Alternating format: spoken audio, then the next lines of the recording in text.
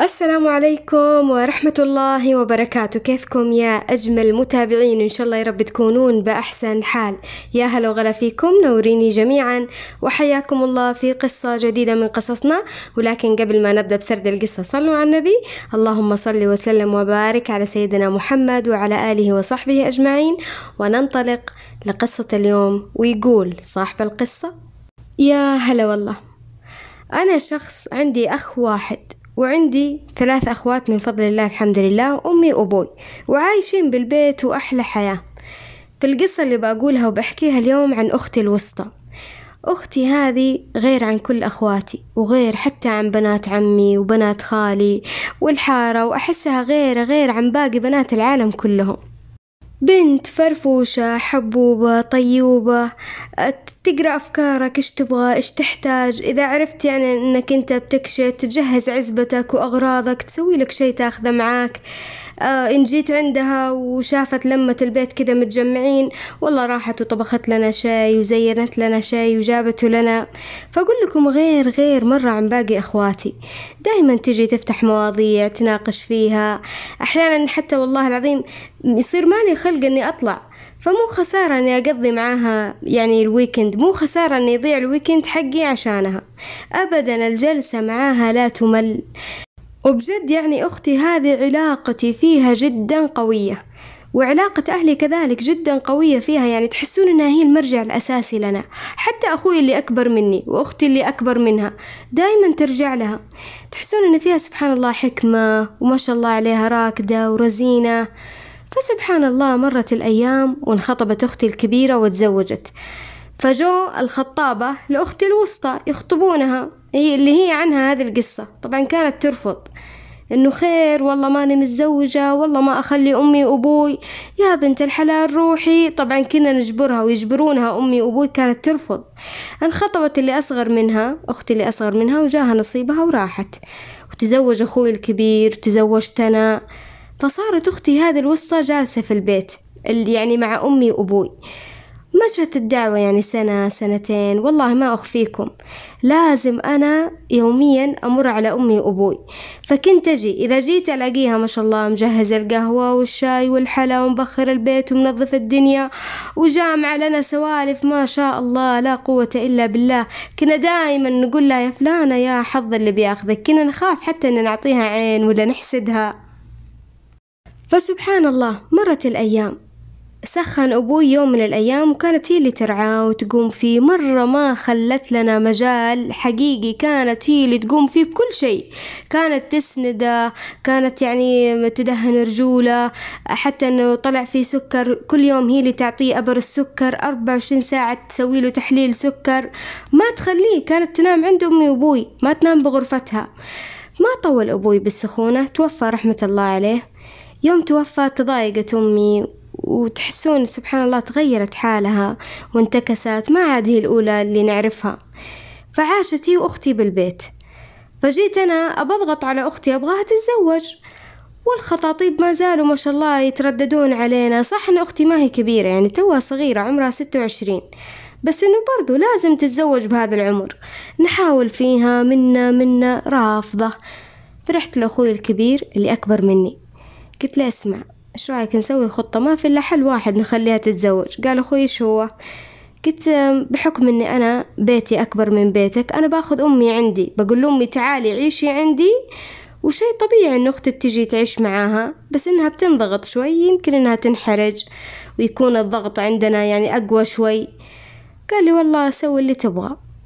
فجيت عند أمي قلت لها إيش رأيك يما كذا وكذا؟ تجين تعيشين عندي؟ طبعا أمي رفضت. فقمت أشرح لها الوضع. قلت يا يما بس عشان فلانة عشان تتزوج أختي ما يضيع عمرها ما يروح يمكن إنها تستحي يمكن كذا يمكن كذا. فتكفين يما ما دام إنك أنت بهذا البيت لسه موجودة ما راح تتزوج ابدا. قلت امشي معاي. هي بتجي معاك يعني بتصير يعني حجتنا بالضغط أقوى بتستحي إنها عايشة عندي. وأنا والله العظيم يا جماعة إني بس كان ودي إنها تتزوج زيها زي أخواتها زي بنات جيلها. قالت أمي ما دام الدعوة حيلة يلا. من وجد له حيلة فليحتال. والله وتجي أمي حبيبتي عندي وتجي عند أختي قالت لها أمي بنروح عند أخوك. طبعا رفضت أختي قالت ليش يما لا خلينا ببيتنا ببيت أبوي؟ قالت أمي والله عاد بنروح المهم وتلم الأغراض وجات أختي مجبورة. وحقيقي جو عندي وملوا علينا البيت واستانسنا فيهم وزوجتي فرحت فيهم والأمور تمام وكل شيء من أحسن ما يكون. لين جاء يوم من الأيام واحد يخطبها. هذا الرجل يمكن خطبها ثلاث مرات. الرجل هذا ميت زوجته أو إنه مطلق مدري إيش وضعه. المهم إنه من الجماعة. فكان يجيني من أول يقول لي أنا عندي بنت من زوجتي الأولى وكذا ما أفتح معاه الموضوع. على طول أقول يا رجال فكنا بس ما حنا مزوجينك. فكل ما كان يجي يبغى يفتح معاي باب الزواج قلت لا لا لا كلمني كم مرة حقيقي ورديته. فدخل واسطات. كلم أخوي الثاني اللي أكبر مني. صار في ضغط إلين وصل الموضوع لأمي وأختي. فجاء يوم من الأيام صلى معاي بالمسجد وخطب رسمي. قلت كيف يا رجل؟ أنا قلت لك بالتليفون لا وكذا. قال لا لا إن شاء الله إنها بتزين. وأنت روح شاور أهلك اسأل عني وتكفى وأنا طالبك يا فلان وحقيقي أنا ما أصريت ولزمت على أختك إلا لأني سمعت عنها كل خير وأبيها لي ولبنتي قلت ليه خير إيش فيها زوجتك الأولى؟ قال والله ما توفقنا ومطلقها قلت يعني زوجتك ما توفت. قال لا والله أنا مطلقها ما توفت قلت خير إن شاء الله. صراحة أنا ماني مقتنع فيه مرة ماني مقتنع فيه. ودي والله العظيم إن أختي تعيش زيها زي غيرها يعني تتزوج واحد لسه ما معاه واحدة يكون أول زواج له. جيت للبيت قلت لأمي قالت أمي والله أختك بلشتني. تمدحها طبعا وتذكره بالخير أمي وفلانة قالت وفلانة وكذا. قلت أمي إيش رأيك؟ قالت والله شوف أختك. إما إنها ترفض من نفسها ولا يعني شوف الوضع أنت. فجاءت أختي الكبيرة بيوم من الأيام وقالت لأختي موضوع الخطوبة ذا وإن عنده بنت وإنه مطلق وبنته عمرها تسع سنوات وإنه خطبك أكثر من مرة وحنا رديناه فالآن الموضوع عندك تبغينه ولا لا؟ قالت بفكر بستخير أخذت لها كم يوم جت بعدين عند أمي قالت لها أنا موافقة.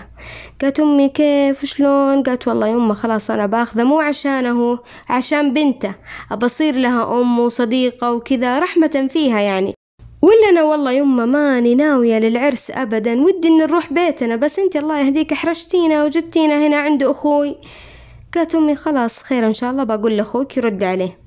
جتني أمي فعلا قالت أختك موافقة. قلت لأمي كيف؟ والله أنها تستاهل أطيب منه. قالت أمي عاد والله أنها موافقة. رد من الرجال. المهم رديت على الرجال بعد عشر أيام واستبشر خير وجانا طاير ودفع المهر وملك واتفقنا.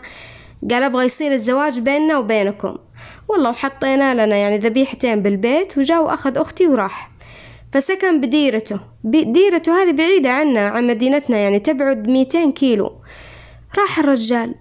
فأختي من النوع اللي يعني فلة بقروب العيلة مهسترة مهسترة فينا وتركب علينا مقاطع وتصور وتنزل لنا يعني بالجروب كذا أصوات وضحك. ومفرفش الجروب فرفشة يعني فرفوشة العائلة صراحة. هي الونيسة للعائلة حقيقي.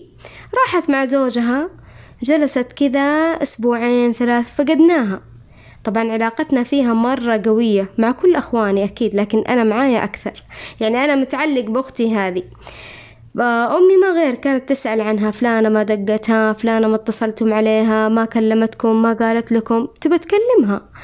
فتقريبا مدة أسبوعين ما كلمتنا ولا ندري عنها.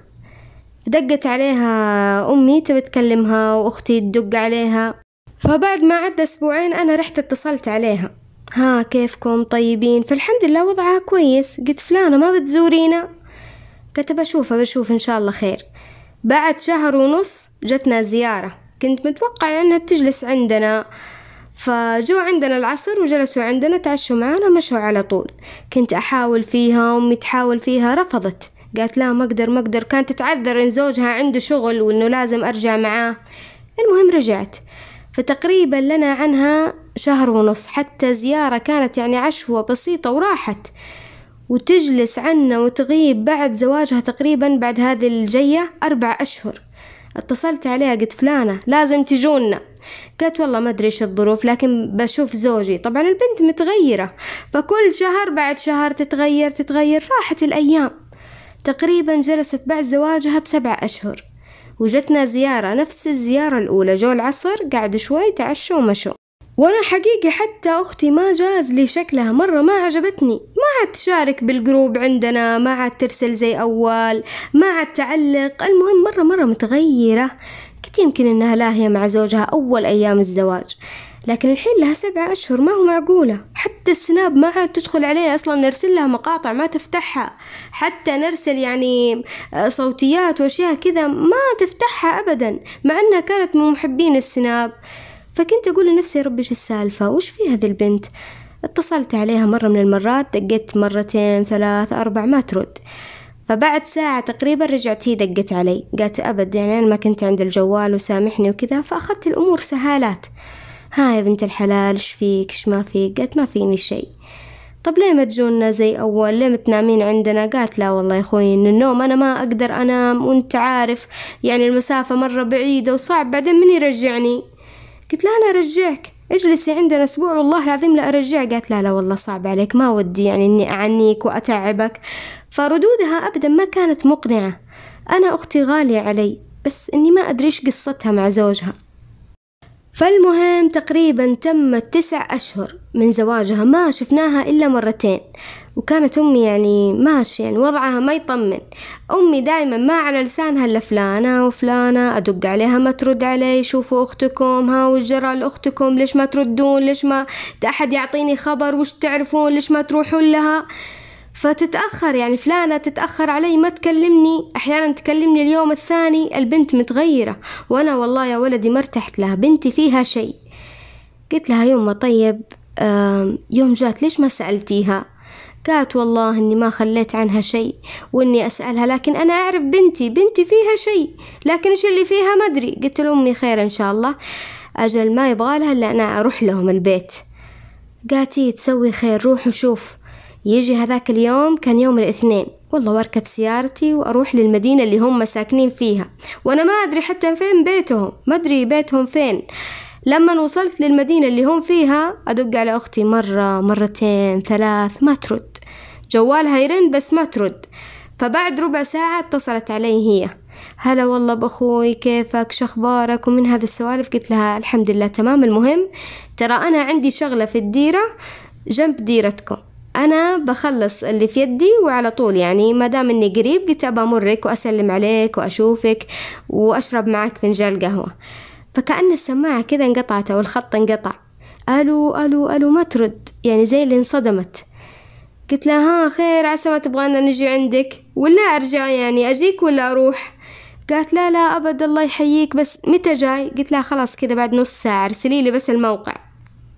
قالت لي زين زين طيب برسلك اياه واتس. وأقفل الخط وانتظرها انتظر انتظر. ما حد ارسل أدق عليها واتس ما ترد. أدق اتصال ما ترد. تقرأ ما ترد في الواتس. بعد نص ساعة كذا ترسل لي الموقع. فامشي والله على Google Map على الموقع يعني و... ولا وصلني البيت قديم شعبي دور واحد.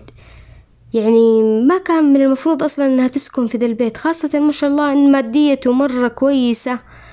وقفت عند الباب نزلت دقيت دقيت الباب أختي ما ترد أدق عليها حتى اتصال ما ترد أرسل واتس تقرأ ما ترد. أدق الباب أرن الجرس ما ترد ولا تفتح ولا في صوت آدمي. ولا شيء أجلس كذا حوالي عشر دقايق عند الباب. إلا وأبو نسب يوقف بالسيارة يا هلا يا مرحبا. وش دي الزيارة المفاجئة؟ يلا إنك تحييه وأسلم عليه. يجي عند الباب الخارجي طق طق طق طق. طبعا الباب كان مقفول. قافلة. والله ويدخل.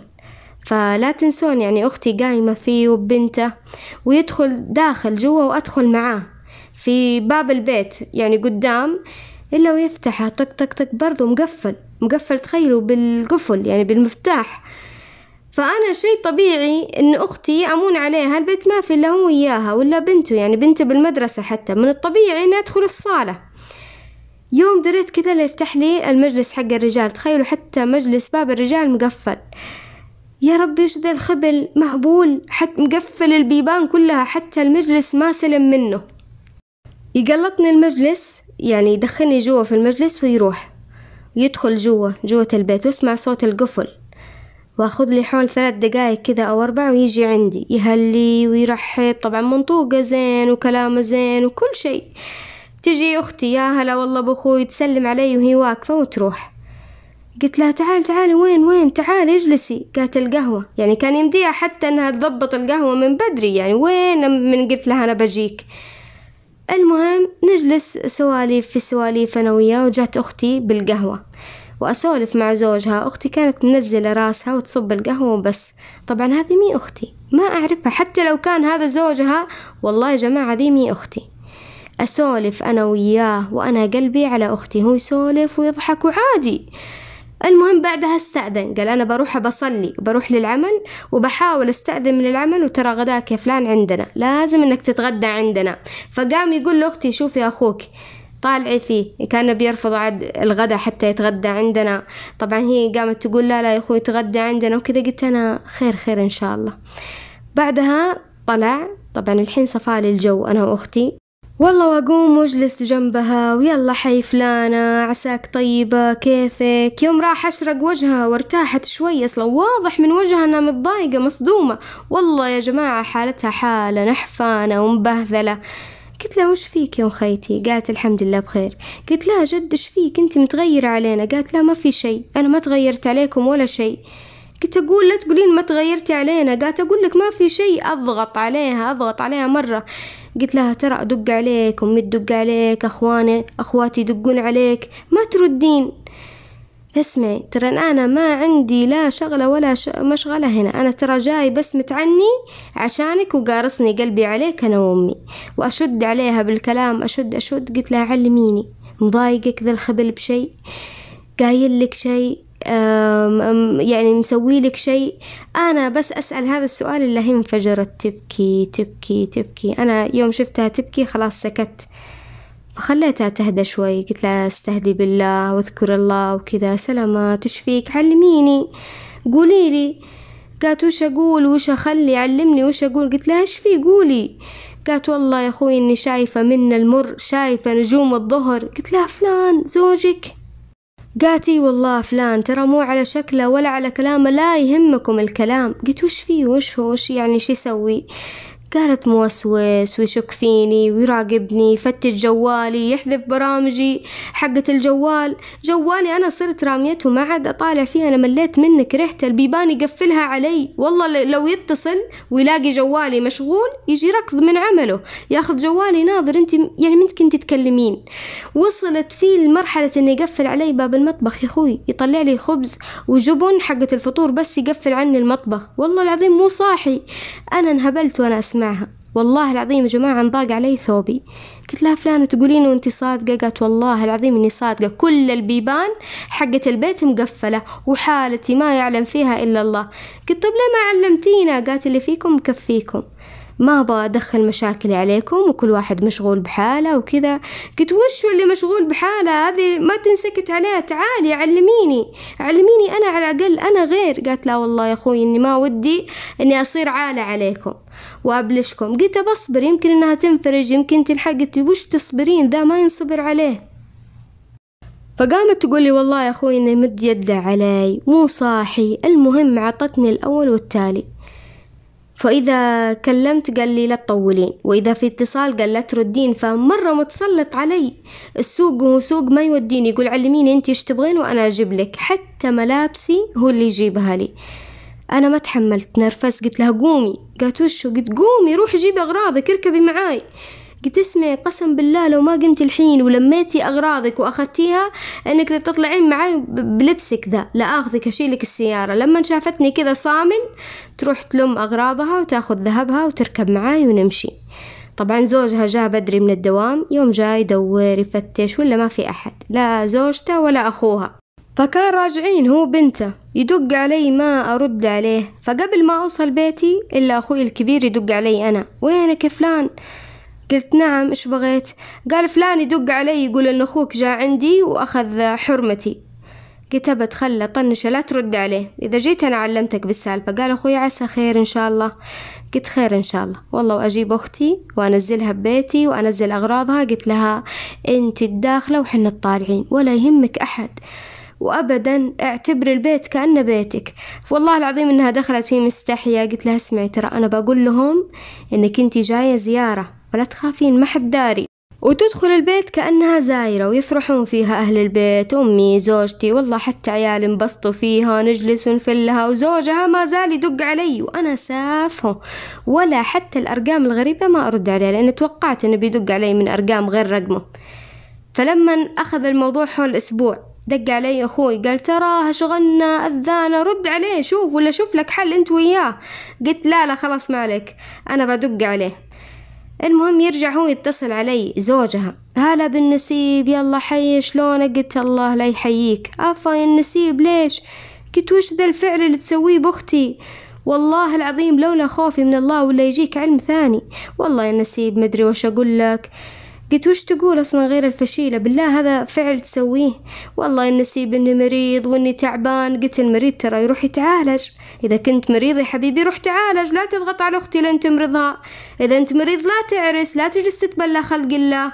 وتسب حرمتك الأولى إن فيها مشكلة وتطلقها والبلا ترى كله فيك.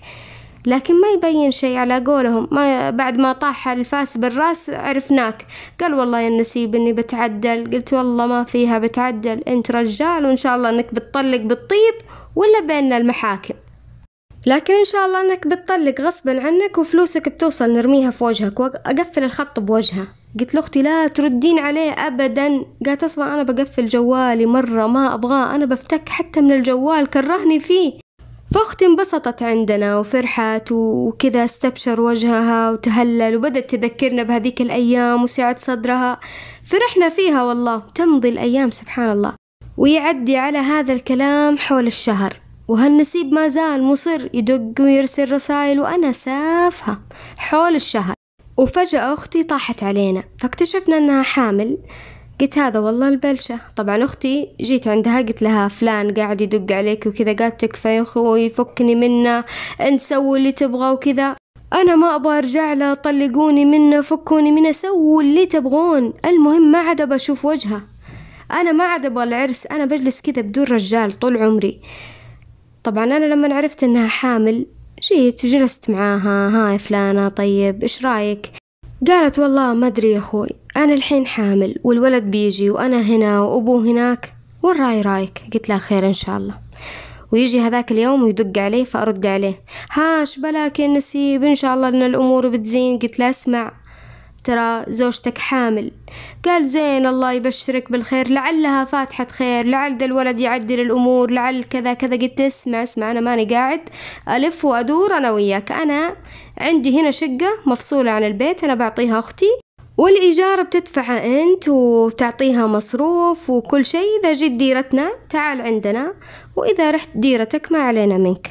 تبغى تنقل وتجي هنا وتسكن هنا عندها الله يحييك. لكن أختي أنا أبغى أدخل عليها متى ما بغيت وأطلع من عندها متى ما بغيت أنا وأمي وأهلي. غير هذا الحكي والله العظيم ما شفت شيء ولا بتشوف شيء.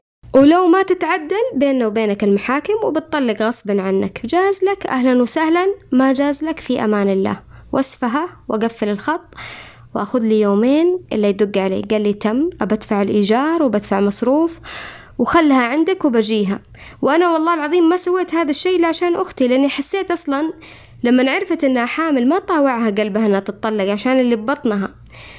قمنا والله ورتبنا هذه الشقة الصغيرة وضبطناها لأختي وصارت تنزل عندنا تجلس معانا. إذا جاء زوجها طلعت وقفلت الباب اللي بيننا وبينها وهو في نفس الوقت يعني ما عاد يتجرأ عليها. لأن يدري إن حنا جنبها يدري إن حنا حولها وحواليها. فأنا أقول من هذا المنطلق أختك لا تخليها. لا تنقطعون عن أخواتكم أسبوعين ثلاث شهر. اسألوا عنهم. إيش في كيفك؟ إيش أخبارك؟ ها كيف فلان معاك؟ والله العظيم لو انقطعتوا وهو حاط السكين على نحرها ما تعلمكم. فإذا ما كنتم تتواصلون معاهم باستمرار ما حيعلمونكم أخواتكم لازم تسألون عنها لازم تسألون عن زوجها تلاحظون تصرفاتها تشوفونها. فالأخ الحريص على أخته يقدر يستنتج وضعها سواليفها مع زوجها حيبين كل شيء. أما أنك تجي في يوم وليلة ولك غايب عنها دهر ها كيف فلان معاك؟ والله لو إنها خبلة ما قالت لك. الأخت سبحان الله إذا حست بقرب أخوانها تقوت والزوج أصلا يهاب يصير لها هيبة ما يقدر يتجرأ عليها يلمسها لمسة بس إذا حست إن أهلها ح... إذا حس إن أهلها ورا ظهرها. لكن سبحان الله وهي كمان ما تجرأ عليها إذا حست إن أخوانها وراها سند تقدر تدافع عن نفسها ما ما تصير ضعيفة ما يقدر يستقوي عليها في الغلط. فالأخ دائما لأخته أب وظهر وقوة وسند وعزوة وسعادة وحنان. فاسألوا عن أخواتكم تفقدوا أحوالهم مو بس بالمال حتى بالكلام حتى بالملاطفة بكل شيء. حتى لو هم متزوجات شوفوا محتاجين شي يبغون شي ترى مو معناها إذا واحدة متزوجة خلاص ما تحتاجك بالعكس المتزوجة تحتاج أخوها أكثر من اللي ما هي متزوجة بس حياها يمنعها من إنها تسأل عنك أو كذا. فاسألوا عن أخواتكم. كم من أخت تحتاج سؤال آه، أخوها سواء دعم مادي آه، أو دعم معنوي؟ باللي يقدر الواحد.